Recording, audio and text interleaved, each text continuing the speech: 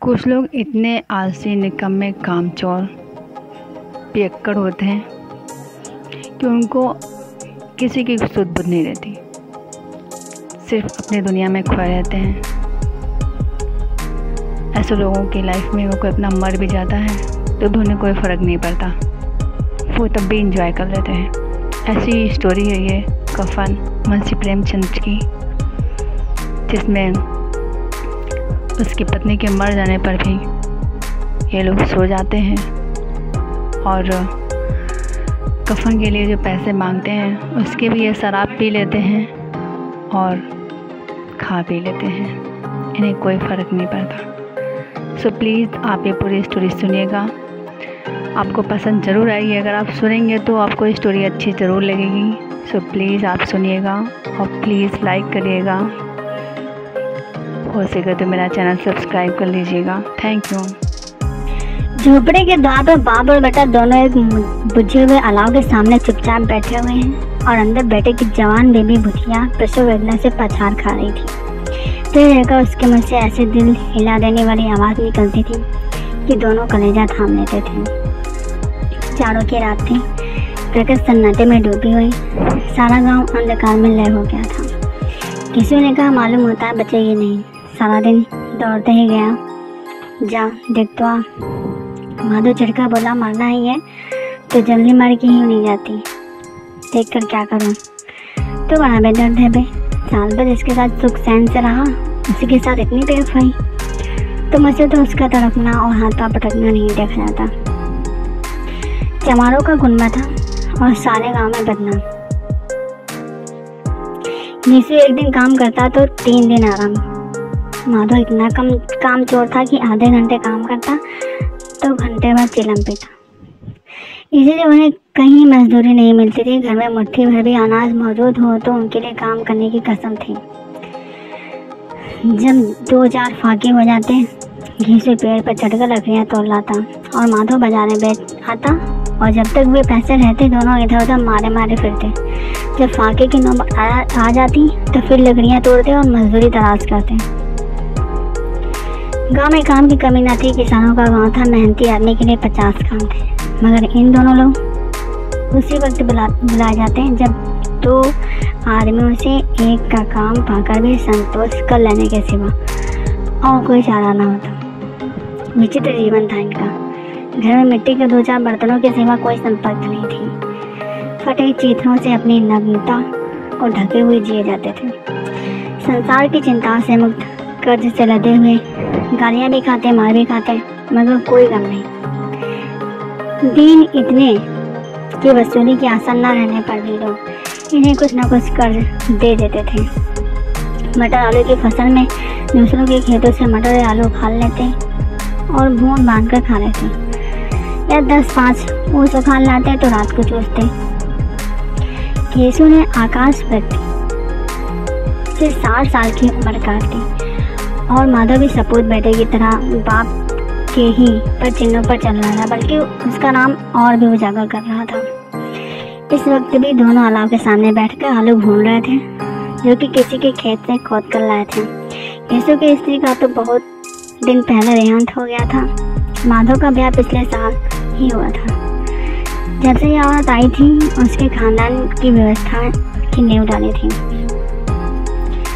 पिसाई करके या घास छील कर बस शेर भराटे का इंतज़ाम कर लेती थी। और इन दोनों बगैरतों का दो जग भरती रहती थी।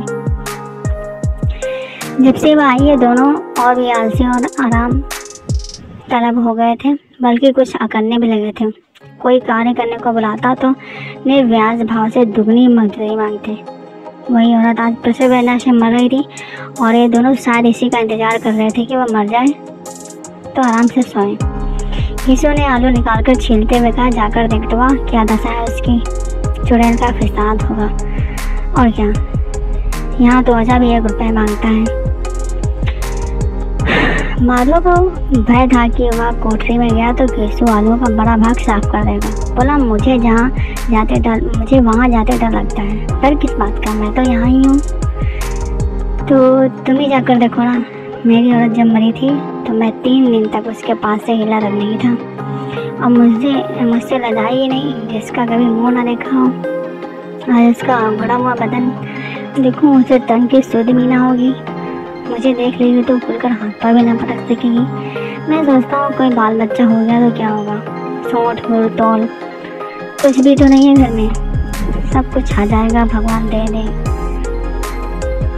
ये तो जो लोग अभी तक पैसा नहीं दे रहे हैं, वो भी कल बुला कर देंगे। मेरे नौ लड़के हुए घर में कुछ नहीं था, मगर भगवान ने किसी तरह बेड़ा पार ही लगाया। जिस समाज में रात दिन मेहनत करने वालों की हालत उनकी हालत से बहुत अच्छी ना थी, और किसानों के मुकाबले में वे लोग, जो किसानों के दुर्बलताओं का लाभ उठाना जानते थे, कहीं ज़्यादा संपन्न थे।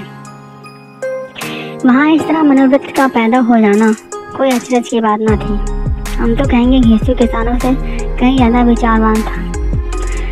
जो किसानों के विचार शून्य समूह में शामिल होने के बदले बैठक बाजों की कुत्सित मंडली में जा मिलता था। हाँ उसमें यह शक्ति न थी कि बैठक बाजों के नियम और नीति का पालन करता। इसलिए जहाँ उसकी मंडली के और गाँव के सरगना सरगना और मुखिया बने हुए थे, उस पर सारा गाँव उंगली उठाता था। फिर भी उसे यह तकसीम तो थी कि अगर वह फटे हाल है तो कम से कम उसे किसानों की जीत और मेहनत तो नहीं करनी पड़ती। उसकी सरलता और निरीहता से दूसरे लोग बेजा फ़ायदा तो नहीं उठाते। दोनों आलू निकाल निकाल कर जलते जलते खाने लगे। कल से कुछ खाया नहीं, इतना सब्र न था। उन्हें ठंडा हो जाने दे कई बार दोनों की जबानें जल गई। छिल जाने पर आलू का बाहरी हिस्सा तो बहुत ज़्यादा गर्म न मालूम होता, लेकिन दांतों के तले पड़ने पर अंदर का हिस्सा जवान हरा को तालों को जला देता था। और उस अंगारे को मुँह में लेकर रखने से ज़्यादा खैरियत इसी में थी कि वह अंदर पहुँच जाए। वहाँ उसे ठंडा करने के लिए काफ़ी सामान थे, इसलिए दोनों जल्द जल्द निकल जाते। हालाँकि इस कोशिश में उनकी आँखों से आँसू निकल आते। किसी को उस वक्त ठाकुर की बारात याद आई जिसने 20 साल पहले गया था। उस दावत में उसे तृप्ति मिली थी। वह उसके जीवन में एक याद रखने लायक बात थी, और आज भी उसकी याद ताज़ा थी। बोला, वह भोजन नहीं बोलता। तब से फिर उस तरह का खाना और भरपेट नहीं मिला। लड़के वालों ने सबको भरपेट पूड़ियाँ खिलाई थी, सबको छोटे बड़े सबने पूड़ियाँ खाई और असली घी, चटनी, रायता, तीन तरह के सूखे साग एक रसेदार तरकारी, दही, मिठाई। अब क्या बताऊँ, कि इस भोजन में क्या स्वाद मिला? कोई रोक टोक नहीं था। जो चीज़ मांगो वो जितना चाहो खाओ। लोगों ने ऐसा खाया ऐसा खाया कि किसी ने पानी ना पिया गया। मगर परोसने वाले हैं, ये पत्थर में गरम गरम गोल गोल तो वासित कचौड़ियाँ डाल देते हैं। मना करते हैं कि नहीं चाहिए, पत्थर पर हाथ रोके हुए मगर वे हैं कि दिए जाते हैं। और जब मुँह धो लिया तो पान इलायची मिली। मगर मुझे पान लेने की कहाँ सो थी खाना ना हुआ जाता था, चटपट जाकर अपने कमल पर लेट गया। ऐसा दिल दरियाव देख था वह ठाकुर। माधो ने इन पराधों का मन ही मन मज़ा लेते हुए कहा, अब हमें ऐसी, ऐसा भोज नहीं खिलाता। अब हमें कोई ऐसा भोज नहीं खिलाता। अब कोई क्या खिलाएगा? जब जमाना, तब जमाना दूसरा था। अब तो सबको किफ़ायत सोचती है। शादी ब्याह में मत खर्च करो, क्रियाक्रम में मत खर्च करो, पूछो। गरीबों, कमाल बटवा बटोर कर कहाँ रखोगे? बटोरने में क्या कमी? बटोरने में कमी नहीं है। यहाँ खर्च में किफ़ायत सोचती है। तुमने बीस एक पूरी खाई होंगी। बीस ज़्यादा खाई थी। मैं पचास का था पचास से कम मैंने भी ना खाई होंगी अच्छा पट्टा था। तू तो मेरा आधा भी नहीं है। आलू खाकर दोनों ने पानी पिया और अलाव के सामने अपनी धोतियाँ उड़कर पाँव पेट में डाले सो रहे। जैसे तो बड़े बड़े अजगर के ढुलरे मान, मारे पड़े हों और बुढ़िया अभी तक करा रही थी। सवेरे माधव ने कोठरी में जाकर देखा तो उसकी उसकी स्त्री ठंडी हो गई थी। उसके मुँह पर मक्खियाँ भिनक रही थी। पथराई हुई आँखें ऊपर टंगी हुई थी। सारी देर धूल से लतपत हो रही थी। उसके पेट में बच्चा मर गया था। माधव भागा हुआ घिसू के पास आया। फिर दोनों ज़ोर ज़ोर से आया करने लगे और छाती पीटने लगे। पड़ोस वालों ने यह रोना धोना सुना तो दौड़े हुए आए और पुरानी मर्यादा के अनुसार इन अभावों को समझाने लगे। मगर ज़्यादा रोने पीटने का अवसर न था कफन और लकड़ी की फ़िक्र करनी थी। पर घर में तो पैसा इस तरह गायब था जैसे चील के घोंसले में मांस बात बेटे रोते हुए गाँव के जमे के दाल के पास पहुँचे। वह इन दोनों की सूरत से नफरत करते थे। कई बार इन्हें अपने हाथों से पेट चुके थे। चोरी करने के लिए वादे पर काम न आने पर इसलिए। अच्छा क्या हुआ? इस बार रोता क्यों है? अब तो तू कहीं दिखाई भी नहीं देता, मालूम होता है गाँव में रहता ही नहीं रहना ही नहीं चाहता। यूसु ने ज़मीन पर सिर रखकर आँखों में आँसू भरे हुए कहा, सरकार, बड़ी विपत्ति में हूँ माधव की घरवाली रात को गुजर गई, रात भर तड़पती रही, सरकार, हम दोनों उसके सिरहाने बैठे रहे दवा दारू जो कुछ हो सका, सब कुछ किया। मदावा हमें दगा देगी। अब कोई एक रोटी देने वाला भी नहीं रहा, मालिक तबाह हो गए, घर उजड़ गया, आपका गुलाम हूँ। आप, आपके सिवा कौन? उसकी मिट्टी उठेगी। आपके सिवा किसके द्वार पर जाऊँ? जमींदार साहब दयालु थे, मगर यीशु पर दया करना। काले कमर पर रंग चढ़ाना था। जी मैं आया। कह दे कि चल, दूर हो यहाँ से। हम तो बुलाने से भी नहीं आता। आज जब गरज पड़ी है, तब आकर गुस्सा मत कर रहा है। हराम खोर कहीं का बदमाश। लेकिन यह क्रोध या दंड अवसाना था, जी में उड़ते हुए दो रुपए निकाल कर फेंक दिए। मगर शांत मतना का एक शब्द भी मुझसे नहीं निकला। उसकी तरफ़ ताका भी नहीं, जैसे सिर का बोझ उतारा हो। जब जमींदार साहब ने दो रुपए दिए तो गाँव के बनिए नाजरों को इनकार का साहब साहस कैसे होता? बीसो जमींदार जमींदार का नाम का ढिंगोरा भी पीटना खूब जानता था। किसी ने दो आने दिए, किसी ने चार। आने एक घंटे में यीशु के पास पाँच रुपए हो गए। कहीं से अनाज मिला, कहीं से लकड़ी। और दोपहर को यीशु और माधव बाज़ार से कफल लाने चले गए। इधर लोग बाँस काटने लगे। गाँव की नरम दिल स्त्रियाँ आकर लाश को देखती जाती और उसकी बेकसी पर दो गुना से निकाल कर चली जाती। ऐसा बुरा रिवाज है कि जिसे जीते जी तन ढाकने की तन ढाकने को चेतना ना मिला। उसे मरने पर कफन चाहिए। कफन लाश के साथ जल ही तो जाता है। और क्या रखा जाता है? यही पाँच रुपए पहले मिलते तो कुछ दवा दारू कर लेते। दोनों एक दूसरे के मन में, मन की बात टाल रहे थे। बाज़ार में इधर उधर ढूंढते रहे। कभी इस बाज़ार की दुकान पर गए, कभी उसकी दुकान पर तरह तरह के कपड़े रेशमी सूट देखे। मगर कुछ जचा नहीं। यहाँ तक कि शाम हो गई, तब दोनों न जाने किस देवी पहना के एक मधुशाला के सामने जाकर पहुँचे और जैसे किसी पूर्व निश्चित योजना के अंदर चले गए। वहाँ जरा देर तक दोनों असमंजस में पड़े रहे। फिर यीशु गद्दी के सामने जाकर बैठकर कहा, साहू जी, एक बोतल हमें भी देना। इसके बाद कुछ चिखौना आया। तली हुई मछलियाँ आई। दोनों बरामदे में बैठकर शांतिपूर्वक पीने लगे। कई कुचियाँ ताबड़ तोड़े कई कुचियाँ ताबड़ तोड़ पीने के बाद दोनों सरूर में आया। सरूर में आ गए। यीशु बोला, कफन लगाने से क्या मिलता है? आखिर जल ही तो जाता। कुछ बहू के साथ तो न जलता।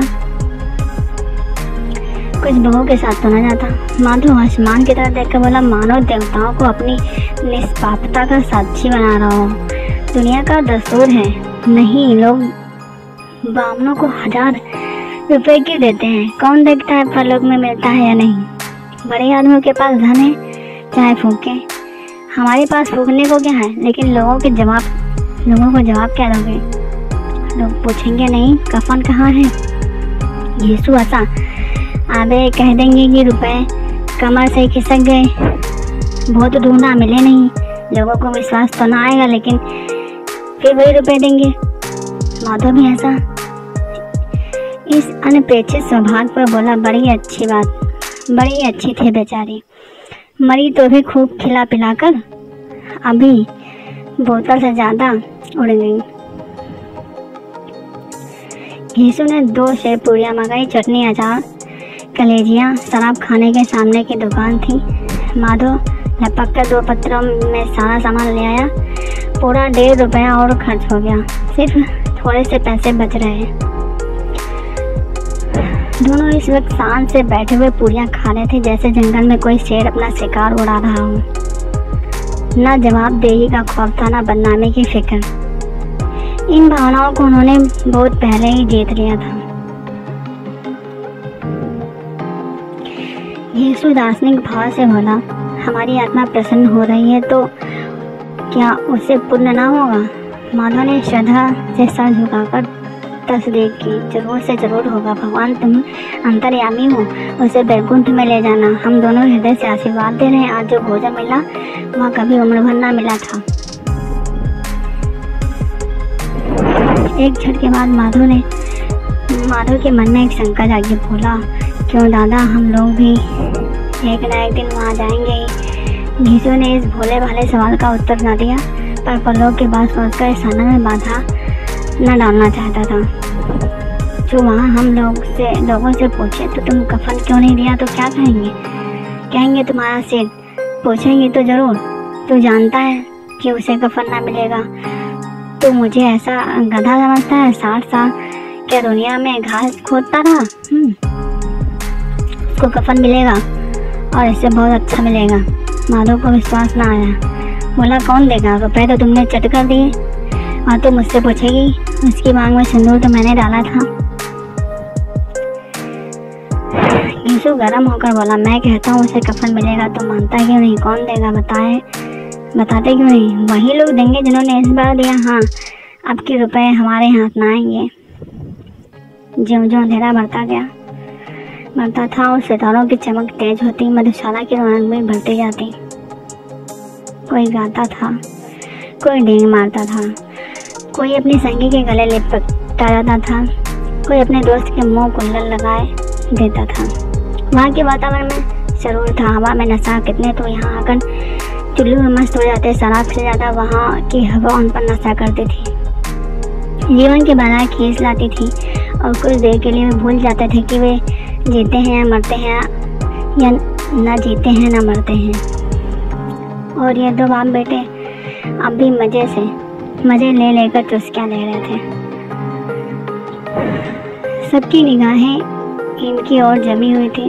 दोनों कितने भाग्य के बली हैं, पूरी बोतल बीच में है। भरपेट खाकर माधव ने बची हुई पूरियों का पत्थर उठाकर एक भिखारी को दे दिया, जो खड़ा इनकी ओर भूखी आँखों से देख रहा था और देने के गौरव, आनंद और उल्लास का उसने अपने जीवन में पहले बार अनुभव किया।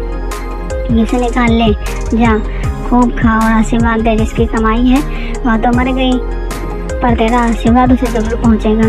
रोए रोए से आशीर्वाद दे बड़ी गाड़ी कमाई के पैसे हैं। माधव ने फिर आसमान की तरफ़ देखा कर कहा, वह वैकुंठ में जाएगी दादा वह वैकुंठ की रानी बनेगी।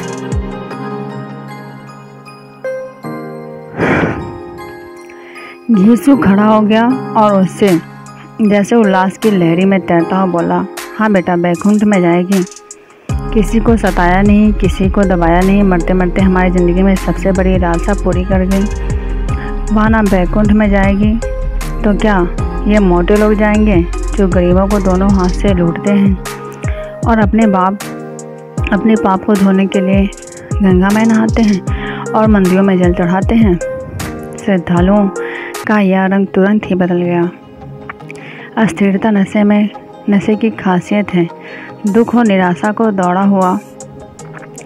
माधो बोला, मगर दादा, बेचारी ने ज़िंदगी में बड़ा दुख भोगा। कितना दुख झेल कर मरी। वहाँ हाथों, आँखों पर हाथ रख कर रोने लगी। लगा चीखे मार मार कर रोने लगा। घिसो ने समझाया, रोता क्यों है बेटा? खुश हो? क्यों माया जाल से मुक्त हो गई? जंजाल से छूट गई। बड़ी भाग्यवान थी। जो इतनी जल्दी माया माया के बंधन, माया मोह के बंधन तोड़ दिए। और दोनों खड़े होकर गाने लगे। ठगनी क्यों नैना छमकावे ठगनी? पियकड़ों की आँखें इनकी ओर लगी हुई थी। और ये दोनों अपने दिल में मस्त गाने गा, मस्त गाते जाते थे। फिर दोनों नाचने लगे, उछले भी, कूदे भी, गिरे भी, मटके भी, भाव भी बनाए। अभिनव भी किए, आखिर नशे से मदमस्त होकर वहीं गिर पड़े।